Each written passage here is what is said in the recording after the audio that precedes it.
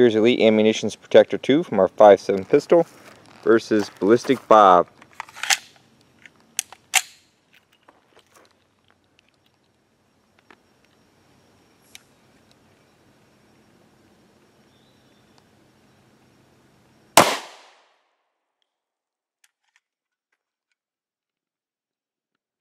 Well, so far Bob, after sewing them back together, Protector 2, he's unharmed.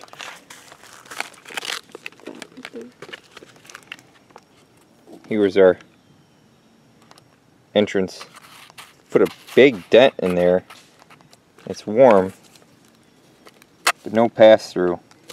There's a nice big dent there. Here is Elite Ammunition's 55 grain penetrator round. Again with our 5.7 pistol.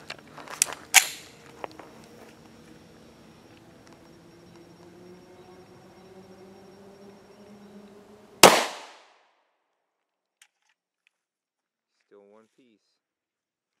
Here's our 55 grain penetrator round entrance. No exit, but that pulled that out of this and pretty far away. I mean, there's a huge dent there. Bob's got a dent in his head.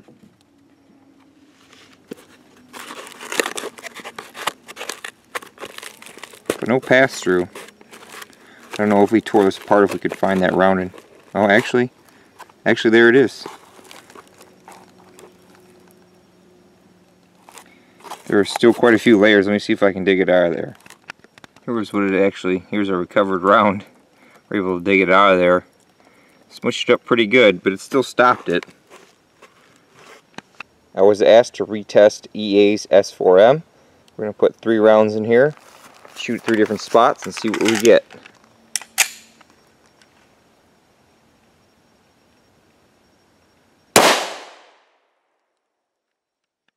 Hold on. Shot one didn't go through. Go to shot number two.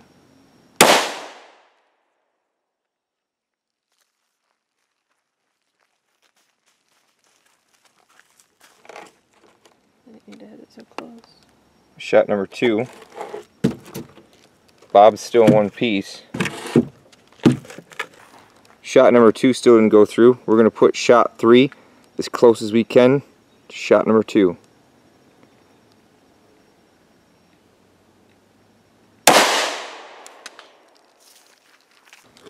These were all it right here. Yep. So we put three shots of S4M all pretty much really close to each other. No pass-throughs at all. It just must be with how rigid these helmets are that it's uh, causing that round to mushroom out. We're at it again today. We have some more 5.7 loads versus Ballistic Bob. This is Elite Ammunition's Devastator round, all copper. I do believe this is at least version 2.0. I have another similar load that has a band towards the top. This is a 35 or 36 grain, basically full metal jacket, all copper round.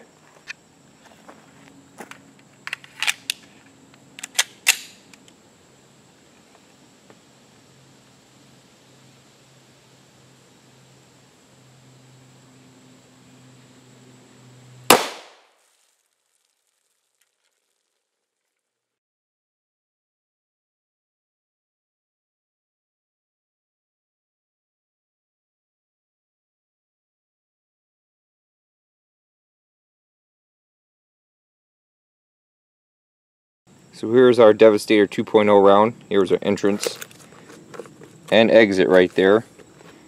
I wonder if this little dent right here is it traveling through because I didn't put that dent there. It's a little tiny dent. Bob is obviously dead. I don't know if that's the entrance or must be the entrance because we had him facing that way. Things went in there lengthwise. Here's our recovered round. Bent the tip over, but still one piece.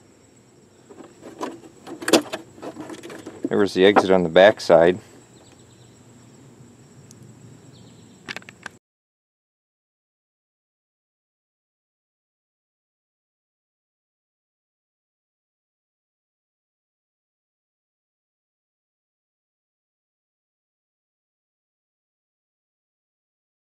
Here we have Elite Ammunition's original LEO only round. This is a 45 grain Barnes Banded Solid. We're going to shoot this against Ballistic Bob from our 5.7 pistol.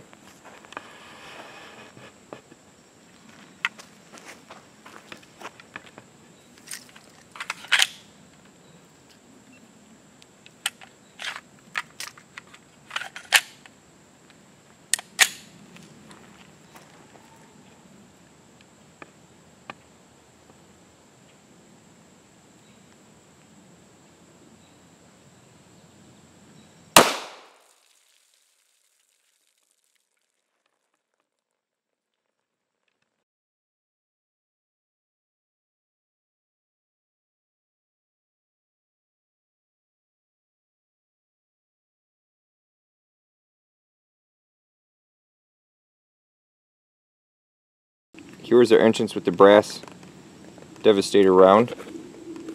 The exit. Really started ripping that away.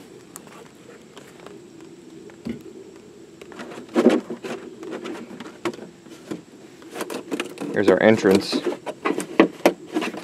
and exit. We found the round laying right there on the uh, floor. Just kind of did like it did with the copper or bent the tip forward, smashed it in.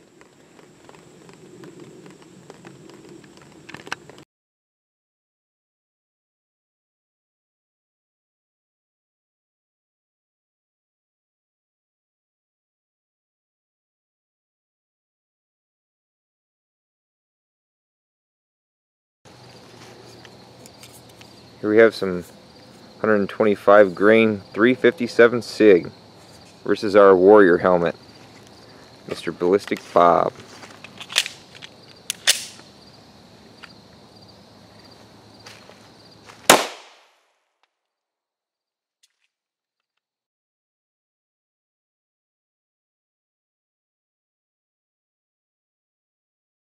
Here's our 357 SIG. No pass through but it broke the shit out of this helmet. There's a big, huge bulge there. Now let's shoot something a little faster. Now we've got the fast stuff. We have 7.62 by 25. This is an S&B ball round from our CZ52.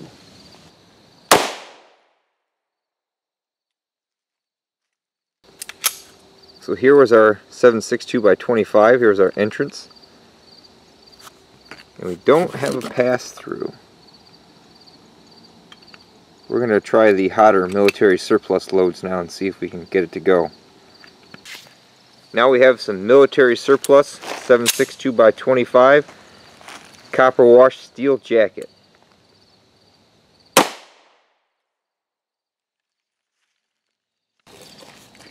Here is our military surplus 762 by 25. There's our entrance and no exit. There's a bulge there, but no pass through.